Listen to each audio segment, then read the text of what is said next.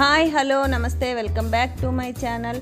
Friends మనం పాలకూరని దాదాపు పప్పులో వేసుకొని పాలకూర పప్పు చేసుకుంటాము.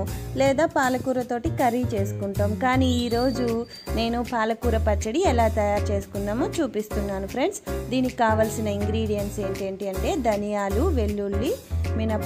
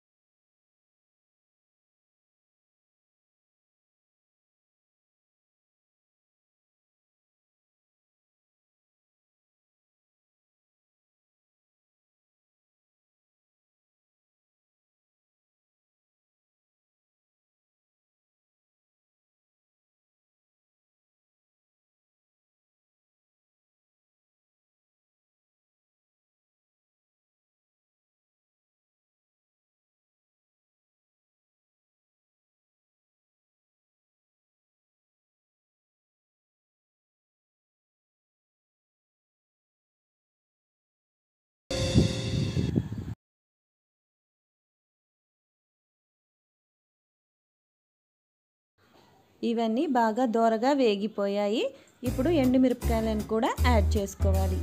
ఎండుమిరపకాయలు ఈ పప్పు దినుసులు ఇవన్నీ బాగా వేయించుకోవాలి.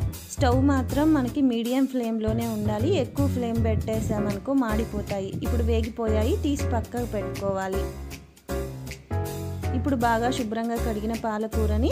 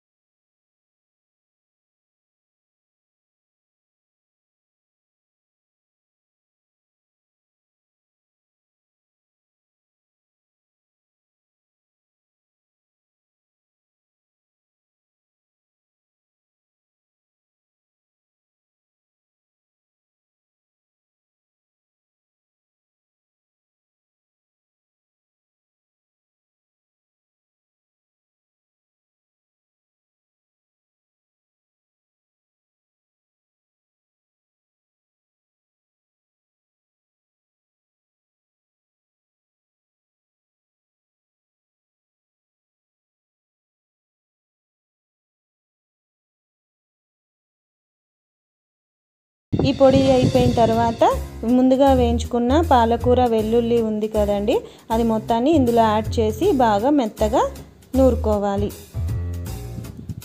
ఈ పాలకూర పచ్చడి చాలా ఈజీ ప్రాసెస్ అండి చాలా మంచిది ఆరోగ్యానికి కూడా చాలా టేస్టీగా కూడా ఉంటుంది. ఈ విధంగా దంచుకున్న తర్వాత ఈ పచ్చడిని కాస్త నూనెలో తాలింపు గింజలు కరివేపాకు వేసి తాలింపు పెట్టుకోవాలి. ఈ విధంగా తయారు చేసుకున్న పాలకూర పచ్చడి వేడివేడి అన్నంలో కానీ చపాతీలో కానీ చాలా బాగుంటుంది. మన ఆరోగ్యానికి కూడా చాలా మంచిది. చాలా ప్రోటీన్స్ ఉంటాయి ఫ్రెండ్స్.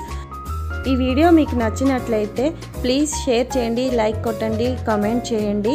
నా ఛానల్ ఎవరైనా సబ్స్క్రైబ్ చేసుకోకపోతే ప్లీజ్ సబ్స్క్రైబ్ చేసుకోండి. Thank you for watching. Okay bye.